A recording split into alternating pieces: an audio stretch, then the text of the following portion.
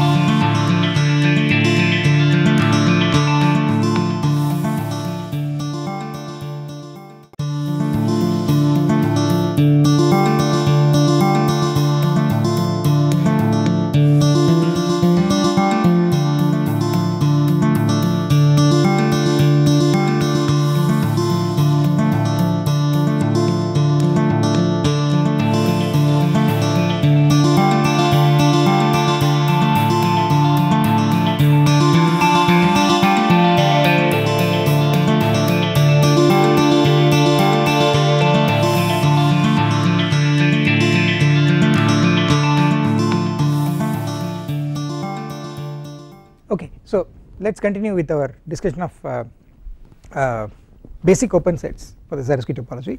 So uh, let me again recall uh, you start with uh, uh, a polynomial g in n variables and you look at the complement of the 0 locus of g and call it dg. It is called the basic open set defined by g. And any open set can be written as a finite union of such basic open sets. And then uh, uh, we define the ring of functions on this basic open set to be functions of this form. Namely these are the polynomial functions uh, multiplied by uh, you know inverting powers of g okay which makes sense because g does not vanish on that locus okay. But then the fact is that uh, this uh, this basic open set uh, dg is actually itself isomorphic to an affine variety. And uh, uh, I've I've I've not defined what uh, an isomorphism of affine varieties is but I'm trying at least I'll try to give you the isomorphism at least at the level of topological spaces. And that's this is how we do it. We take an uh, the affine n space over k with the usual Zariski topology and look at the 0 locus of g. This is a hypersurface okay if of course if g is irreducible it is a hypersurface if g is not irreducible then it is a union of hypersurfaces okay? And uh, uh, uh, it will be a union of hypersurfaces which will be the reducible components. Uh, there there will be hypersurfaces corresponding to the irreducible components of g which occur in the factorization of g okay? And then the complement of this hypersurface is the affine open set uh, is the is the basic open set dg okay and uh, uh, uh, this dg can be thought of as a closed subset as a closed subvariety of an irreducible closed subset of a larger affine space namely an affine space of dimension 1 more. And that is done in the following way. You look at the 0 set of gy minus 1 where uh, y is the extra variable that you add to get the ring of functions on this affine space of one dimension more. And uh, since this polynomial gy minus 1 is reducible the ideal generated by gy minus 1 is prime and the 0 set therefore uh, the 0 locus of that polynomial gy minus 1 is uh, uh, is a hypersurface okay? And it is a closed subset of uh, uh, this n plus 1 dimensional affine space. And it's it's an irreducible closed subset. And its ring of functions is defined uh, uh, to be the ring of polynomials on the ambient affine space divided by the ideal of functions that vanish on that hypersurface which is just the ideal generated by gy minus 1 and the fact is that we have a bijective map uh, from this ba this uh, basic open set here in an and this reducible closed subset this hypersurface in uh, an plus 1 so what is happening is that a basic open set in uh, uh, in affine n space is being identified with a hypersurface in affine n plus 1 space okay. So it may look at, at, at first it may look a little confusing because here it is open and there it is closed okay? But you must remember that the affine spaces are of different dimensions. And you must also remember that uh, the, the ambient affine spaces are of different dimensions but the dimensions of these two spaces of course they match. Okay? See the dimension of a hypersurface uh, is always one time is always one less than the dimension of the affine space. So here it's n plus 1 dimensional affine space and its dimension is 1 less so its dimension n. Okay? And uh, this is something that I have not told you about but uh, uh, this is something that I will try to explain to you. The dimension of an open set and uh, a non-empty open set uh, is essentially the same as the dimension of I mean it can be the dimension of a non-empty open set can be defined as the topological dimension okay? And the fact is that uh, uh, the dimension of this uh, will also uh, the dimension of this will also be n okay? And that coincides with the dimension of this. In fact what will happen is that uh, you know dimension can be defined for any topological space okay? It is defined to be uh, the maximal length of, of you know a chain of irreducible closed subsets properly contained uh, in one another uh, each one properly contained in the next and provided you start with uh, uh you start uh, indexing with 0 and then you take the max length of maximal the maximal such chain. Okay? Essentially you should take the length of the maximal such chain and take away 1 from that. Okay. So you can define uh, uh, the dimension of a topological space. In that sense you can define the dimension of any subset of uh, any topological space. And it will turn out that the dimension of a subset is the same as the dimension of the closure of that subset. By going to the closure the dimension is not going to change. Okay? And therefore you know if you believe that statement the dimension of d of g will be the same as the dimension of the closure of d of g but then the closure of d of g will be the whole affine space. Because d of g is a non-empty open subset of the affine space and you know any non-empty open subset is irreducible and dense in particular it is dense so its closure will be the whole affine space. And by going to the closure you do not change the dimension. Therefore the dimension of this is the same as the dimension of the affine space and the dimension of the affine space is n. Okay. So this is n dimensional this is also n dimensional so dimensions match. Okay? And I told you it is a it is a matter of exercise. It is a good exercise for you to check that this map is actually uh, uh, a homeomorphism. In fact uh, as I was trying to point out in the uh, in the last lecture uh, let me let me say the following thing an plus yeah, so an k sits inside an plus 1 k as uh, it sits inside as a subset which is given by the 0 set of y.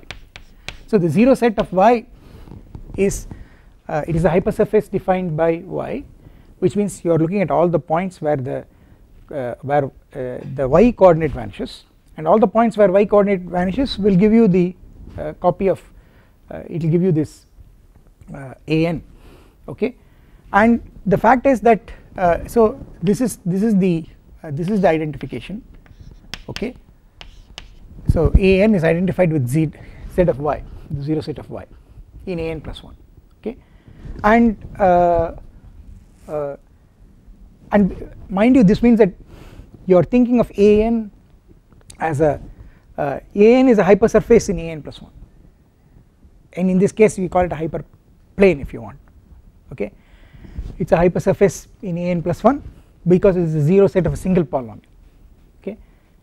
Where the set of points where uh, the y coordinate vanishes uh, is precisely a copy of an right? And uh, well um, what is happening is that you you also have a projection this is you have a projection map from an plus 1 into an and the projection map is the map that takes the n plus 1 coordinates and forgets the last coordinate okay? And and the statement is that you take this projection map and restrict it to this closed subset then that gives an isomorphism with this open subset okay? So projection restricted to z of gy minus 1 from z of gy minus 1 to dg is a homeomorphism and you know we will see this later and in fact an isomorphism of varieties.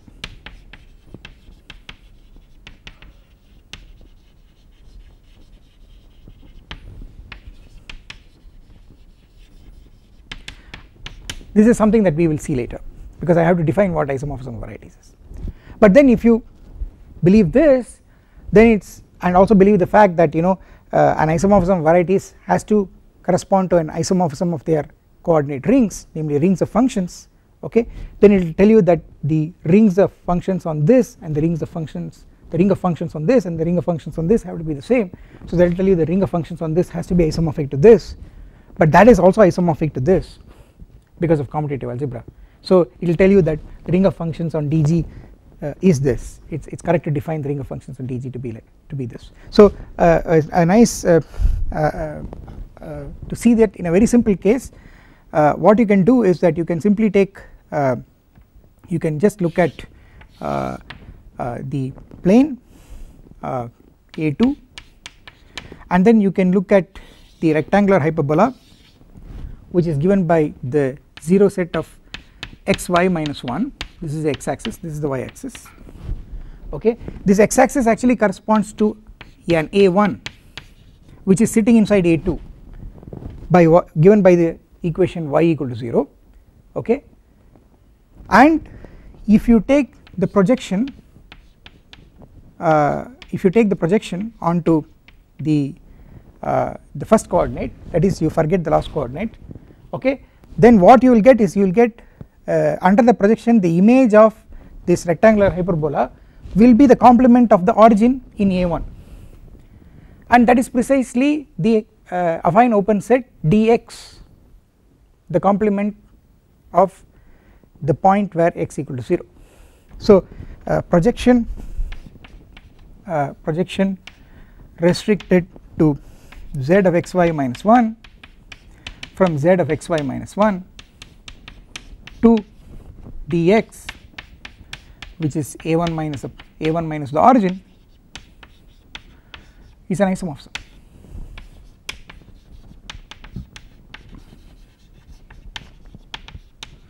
So this is a very simple uh, uh, diagram that you can always remember that uh, uh tells you what what is happening more generally. So I have taken n equal to 1 and there is a1 sitting as the x axis in inside a2 okay?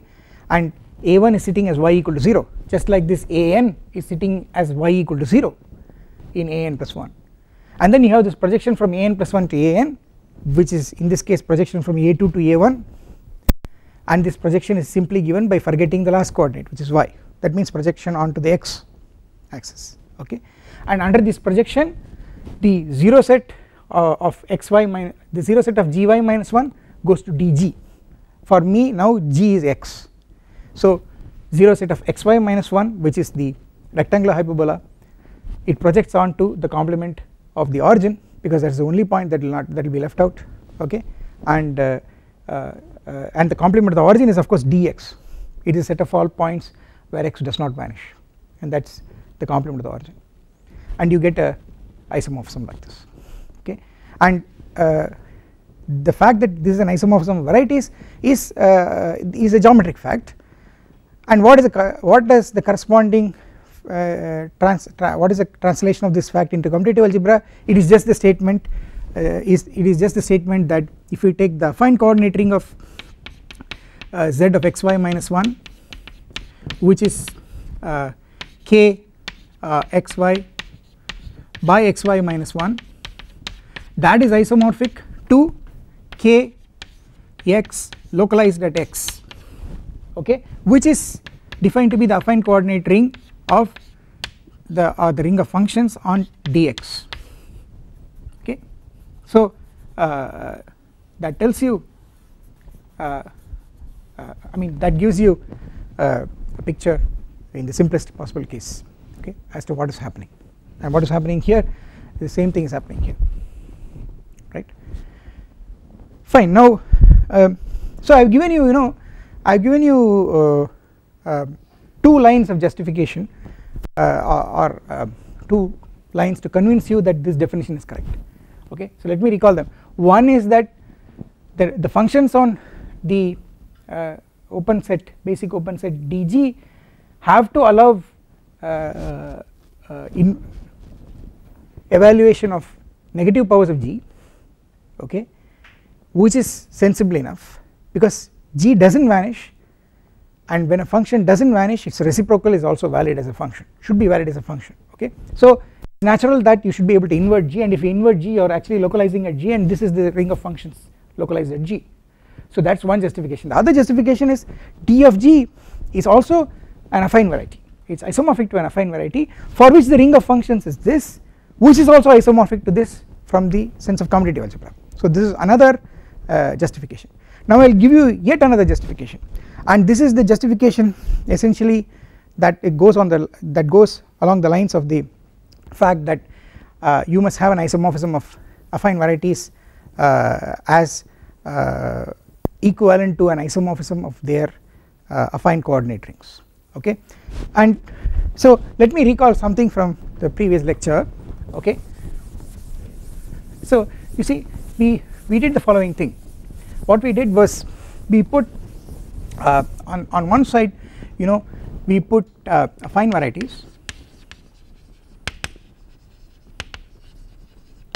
Okay? And on the other side we put affine coordinate rings.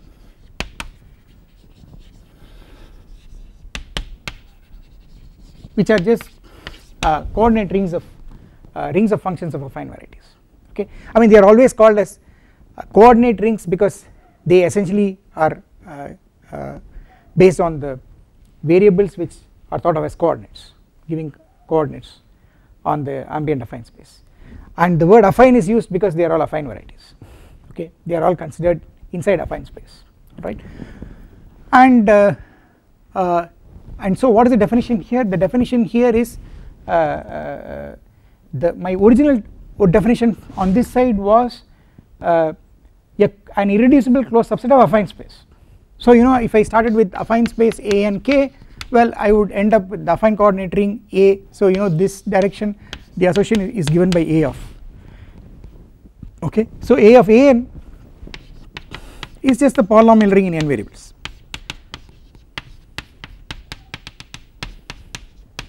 Okay.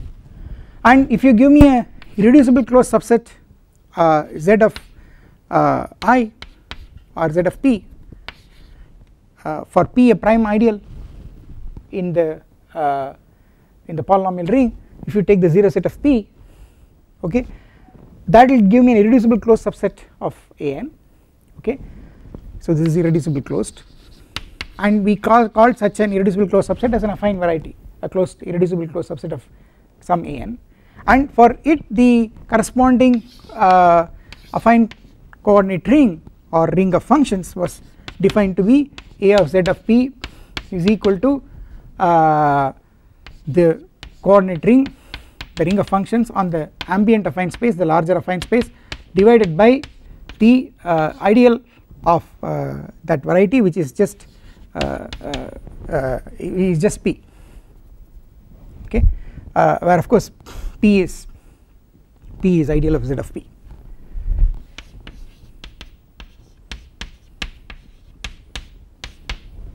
Okay? This is how we define. Now you see and in fact I, I also told you that this fact that this is an irreducible closed subvariety is, is, is reflected by showing that from here to here you have a quotient. Because it is just quotient by the prime ideal p okay? And I was trying to tell you that you know uh, you have a more general picture. That is on this side uh, whatever you have there is a reflection of that here. This is a geometric picture. This is a commutative algebraic picture. And I told you that the uh, the uh, the equivalence comes because of uh, an arrow that is going in this direction. And I told you that arrow that arrow is actually max spec. It is given by max spec. So uh, what I told you was well uh, you give me a general uh, affine coordinate ring. So what is the definition of a general affine coordinate ring? A general affine coordinate ring is defined to be something like this it is a finitely generated K algebra which is a integral domain namely it is a polynomial ring in n variables in any any number of variables not necessarily in any number of but finite number of variables divided by a prime ideal. Why do I want divided by a prime ideal because I want an integral domain and why finitely many variables because I want a finitely generated K algebra. So on this side the more general definition of affine coordinate ring will be finitely generated K algebras which are integral domains okay. So you know so let me write that here if you take a finitely generated K algebra uh, there isn't enough space here so let me write it in the next line. Finitely generated K algebra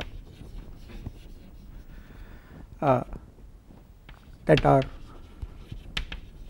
integral domains. Okay. This is what you should put on this side in general. And what will that be? That will be some k of well y1 etc ym modulo some uh, well some p which is a prime ideal okay? And what does this come from? This comes from an affine variety. That is something that you can very easily uh, see. What is a affine variety? You take you take max spec of k y1 etc ym this is nothing but am okay? This is what we saw in the last lecture. I told you that this is a what I proved was this is a isomorphism as topological spaces. Okay? But the I, and I told you that that is only half the story in fact it is an isomorphism of even varieties. But that is something that I will keep telling you but uh, that is something that I will justify later because I have not defined what isomorphism is on this side okay? But just take it for that. So if you believe that then there is an isomorphism of varieties okay? But mind you at the set theoretic level this statement is just the Nullstellensatz that corresponding to a point with coordinates lambda i you are associating the maximal ideal uh, given by xi minus lambda i generated by xi minus lambda i. And that is the Nullstellensatz that every maximal ideal is of this form okay? And my and let me recall that max spec was supposed to be the uh, maximal ideals in this ring and uh, uh, the which is a subset of the full spectrum called the prime spectrum which consists of the prime ideals. And that spectrum itself has had a Zariski topology and therefore the maximal spectrum which is a subspace of that subset of that topological space got an induced topology and with respect to that induced topology this identification become became not just a bijective map but it became actually a homeomorphism of topological spaces and the most then the strongest statement is that this in fact an isomorphism of varieties okay. Now in this what you do is you look at max spec uh, of the of this quotient k of y1 ym mod p. Then you know this sits inside as a closed subset here. And that closed subset actually corresponds to uh, that is an, uh, the identification of z of p uh, which is identified with this this diagram commutes. Okay. So this the very identification that associates to every point of am the maximal ideal in the polynomial ring corresponding maximal ideal a unique maximal ideal in ring in m variables will associate uh, to every maximal ideal here I mean to every point here a maximal ideal of the polynomial ring which contains the uh, ideal p.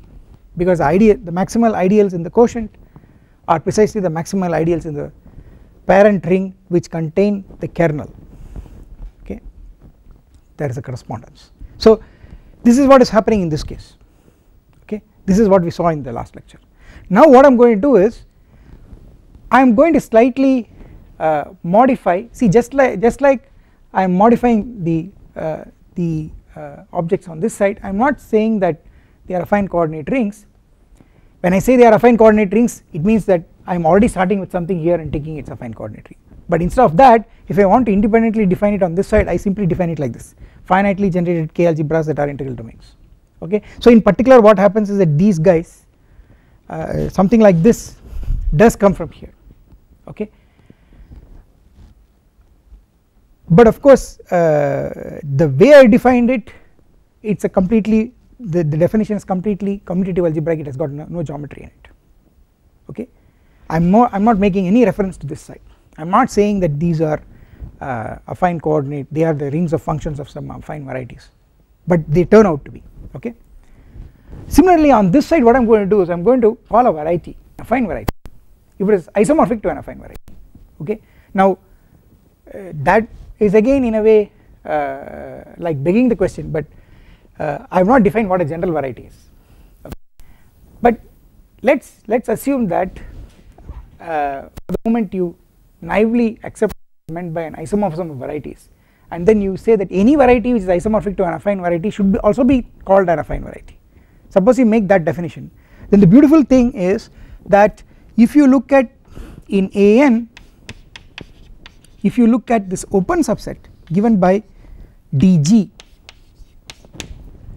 okay the basic open subset given by dg mind you this is not a closed subvariety of an it is not a closed subvariety of an then this also turns out to be an affine variety okay? And I told you roughly the story uh, as I have done there is that this is isomorphic to the set z of gy minus 1 in a bigger affine uh, space space of dimension 1 more okay? And there is a projection like this and under this projection uh, which forgets the last coordinate uh, uh, this is identified with this okay? That is what I have that is what I have explained here that is exactly what I have explained here okay. Now if you believe that then it tells you that even open subsets of basic open subsets should also be thought of as affine varieties because they are isomorphic to affine varieties okay. So if you go by this then what I should get on this side is a of d of g and a of d of g is well uh, I have defined it as k uh, x1 etc xn localized at g. And well there is no problem with this uh, isomorphism because this isomorphism uh, in principle should also give you an isomorphism of rings and that isomorphism is already there from commutative algebra. You have an isomorphism of this with uh, k of x1 etc xn y. You add the extra variable y and divide by gy minus 1 these two are of course isomorphic.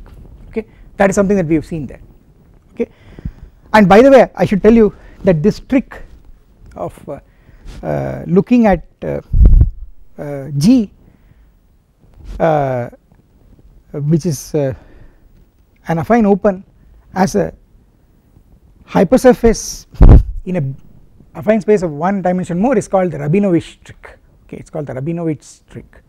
It is a trick of inverting G. Okay it is just trying to say that see it is a beautiful thing. What it tells in commutative algebra is localization by a single element is a quotient.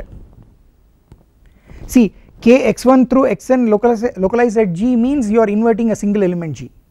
It is a localization okay? Whereas what you have here is the quotient of a polynomial ring in one variable more by a suitable ideal. And these two rings are the same. So it says that now it does not say every localization is a quotient. What it says is localization at a single element is always a quotient. Okay? And that uh, that the geometric content of that is that uh, any basic open set is actually an affine variety. And that is the reason why people call sets of this form as basic affine open. That is the word they use. They also add the adjective affine. They say basic affine open because it is not just a basic open set. It is actually an affine variety in its own right under this identification. Now you know if you want to believe things what you should expect is if I take max spec from here to here I should get back my dg okay? So if I take max spec of this localization I must get dg if, if everything is correct. Okay? If everything fits into the picture properly. And that is the case. Okay? So in fact if you apply max spec of uh, max spec to this you do get dg and how is that true? That is just because of uh, some basic uh, facts from commutative algebra which you must have come across in a first course in commutative algebra. Namely that uh, uh, uh namely the following let R be so I recall let R be a commutative ring with 1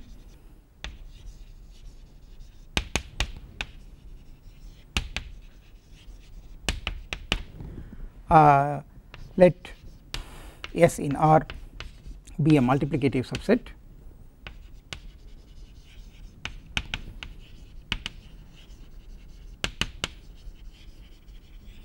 Let this be a multiplicative subset. So that means that S is a subset of R which contains 1 okay and it is closed under multiplication and it does not contain uh, any nilpotent elements okay. It does not contain 0 in particular right. And then we have the localization S inverse R this is the localization of R at S. What it means is just invert S okay. And uh, sometimes people also write it as, as R S inverse. Okay. And the reason why we write it as R S inverse is actually because this is isomorphic to R of you take the polynomial ring in R in as many variables as there are elements of S okay. And then you uh, uh, uh, you go modulo S times xs minus 1 the ideal generated by all these s times xs minus 1 where s is in s. That is what it is. I mean the point is that I want to invert how do I invert s? How do I invert an element? What I do is I add a variable and then uh, I add a variable xs x sub small s corresponding to the element small s and then I kill small s times xs minus 1 because when I kill this what I am trying to do is I am in the quotient ring s times xs will be equal to 1 and when a product of elements is 1 it means that each of these elements is a unit. So therefore s has become a unit. That means I have inverted s. Okay this is what is happening. And this is a, a this is a again something that you would have learned in a course in commutative algebra. It is very easy to verify. Okay? Uh, again the map from here to here comes because of the universal property of localization. The map from here to here will come because the universal property of the polynomial ring. Okay? Now uh, okay now you see the point is what are the ideals in spec inverse R? I mean in, in the, I mean what is the what are the elements of spec of S inverse R? What are the ideals in S inverse R? So the the the, the fact is that the every every ideal in S inverse R is of the form S inverse of I where I in R is an ideal okay. So every ideal in the localization is given by localization of an ideal in the original ring okay.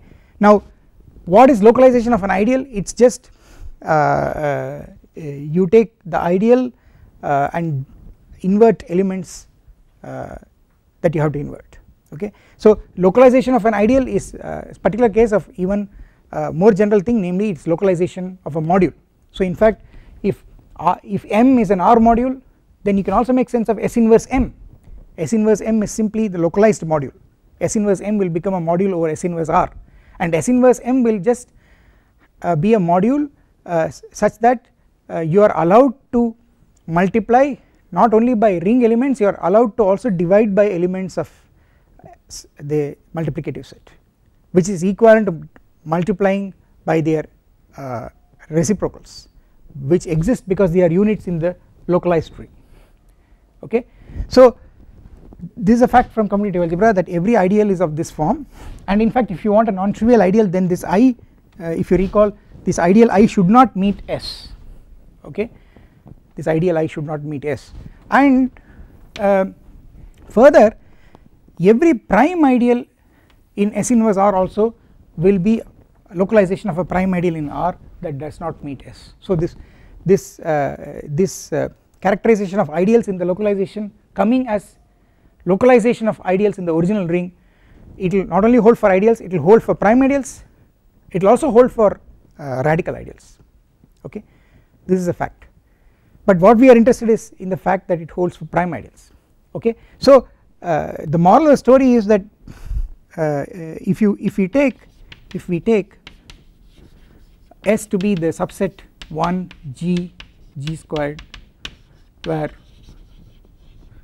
uh, G is a non-unit and is not input not not not uh, nilpotent then uh, we usually denote S inverse R as R of uh, RG this is the notation. Sometimes we also write R of 1 by G or G inverse or R of 1 by G. In keeping with this notation R of S inverse okay? And uh, what are the ideals in Rg they will be the ideals in R localized at G okay? And in particular the ideals should not contain G so the prime ideals in Rg will be precisely the prime ideals in R which do not contain G okay? And now if you apply this to uh, uh, if you apply it to this this localization what it will tell you it will tell you that the max spec of this ring the localization of the polynomial ring in n variables at a single polynomial G the maximal spectrum of that namely the prime the, I mean the set of maximal ideals there. The set of maximal ideals will be precisely those maximal ideals in the original ring. Uh, it will be in correspondence with the maximal ideals in the original ring which do not contain G okay. So what all this will tell you is that max spec of k x1 through xn localized at G will is can be identified in a bijective correspondence with the uh, set of all uh, m in max spec of the original ring of the polynomial ring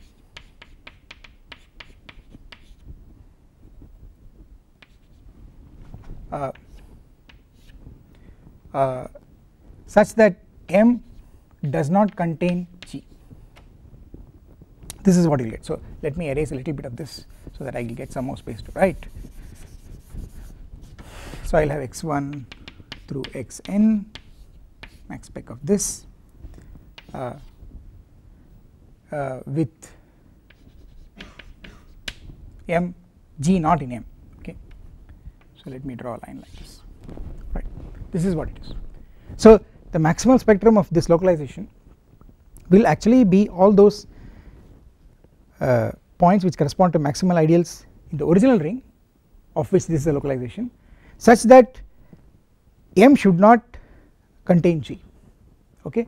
Now you see what what you must understand is that uh, uh, uh, let me see whether I am saying that correctly um, so the I so the the the ideals in the localization will correspond to the localization of ideals in the original ring that do not meet the uh, multiplicative subset. So uh, so this is correct. So this m will meet uh, this s uh, if and only if some power of g is in m and that is the same as saying uh, g is itself in m because m is a maximal ideal so it is prime. So this this so the statement is right. Okay?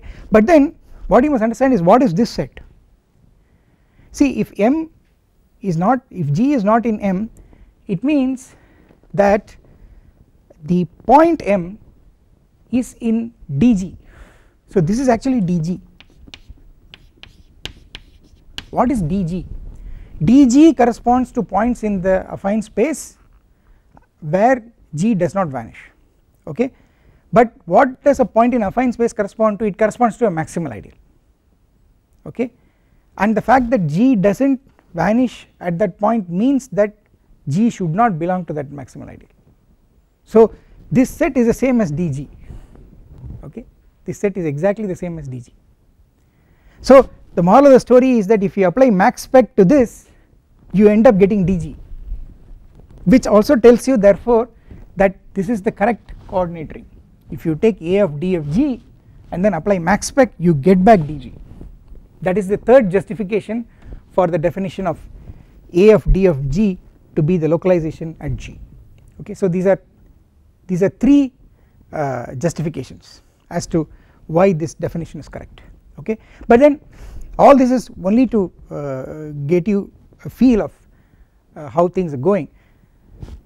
It helps you to understand that you can make sense of uh, uh, uh, the ring of functions on an open set. See because my aim is to go from the geometry side to the algebra side my aim is always to associate rings of functions. And from the commutative algebra side if I want to go to the geometry side I, I will always look at the maximal spectrum. That is how I that is how we are, we are doing it. So on the geometric side uh, uh, the open sets are also important so if you give me an open set I, I need to know what are the ring of functions what is the ring of functions on that open set. Okay? Now that is a question that uh, to answer that question first of all you you break that question down into two pieces. First you realize that in any open set is a finite union of basic open sets. And then the idea is that if you know what are the functions on the basic open sets then using this you can get an idea of what will be the functions on open sets. Okay? So that is why all this is important. Right so uh, so I hope that convinces you that this definition uh, is, is valid and uh, that these basic open sets are actually basic affine open sets. In fact they are affine varieties. They can be identified as affine varieties in a in a in an affine space of the of one dimension higher. Okay fine. So there is one more thing that I need to tell you. And this has got to do with a version of compactness uh, the usual compactness which comes for free in the, in the case of Zariski topology. Uh, and that is the reason why uh, uh it is called it is not called compactness in Zariski topology it is called quasi compactness uh, that just comes for free. And uh, and then you can then you can expect that as it is the case that the corresponding notion for compactness in algebraic geometry is very different. It is called completeness or properness okay. So, uh, so let me explain this. See in the usual topology uh, uh, what is this uh, uh, what is the definition of uh, compactness of a subset? You have a topological space you have a subset. When do you say the subset is compact so the definition goes uh, the most general definition goes by using open covers. The definition is that if you have an open cover of that subset then out of that open cover only a finite subcover will suffice. That is if you are given a collection of open subsets whose union contains this given subset which is supposed to be compact then from that collection of open subsets you can just take fi only finitely many whose union will also contain that subset which is supposed to have the property of compactness so the condition of for compactness in topology is every open cover has a finite subcover admits a finite subcover okay. Now the beautiful thing in algebraic geometry is that this is this is there for free okay. So what happens in algebraic geometry is that uh, uh, uh, you give me a collection uh, of uh, Uh, you give me any open cover okay of a subset then a finite subset then a finite subcover will always be enough okay and the reason is as follows. You give me an open cover the union of all the elements in the open cover will be an open set okay. The union of all the elements in that open cover will be an open set. But you we have already seen that any such open set is a finite union of basic affine opens okay and therefore what will happen is that this open set is a uh, is a uh, it, it's expressible also as a finite union of basic affine opens. Now you intersect each of these finitely many affine opens by that open cover okay and use the fact that an open subset of a uh, of a basic open set is again a basic open set okay?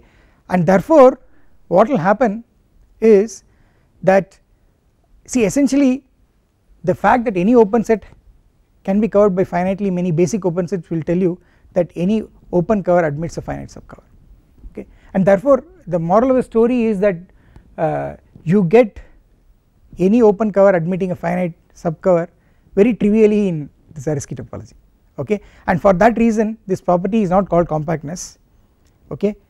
But it is called quasi compactness so let me write that. The so uh, so fact the Zariski topology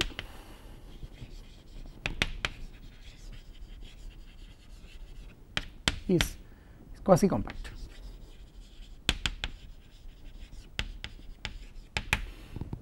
okay that is any open cover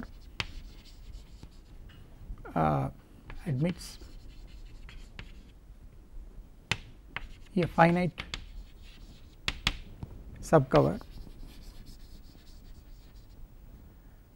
whose union is the same as union of the original open cover okay? And this is uh, this fact just follows from the fact that any open set is uh, finite union of basic uh, affine open sets. Okay? So um, I'll uh, there is also a way of looking at this from the commutative algebra point of view which I think you would have come across in an earlier course in commutative algebra but nevertheless uh, uh, I will try to I will try to I will rec recollect that.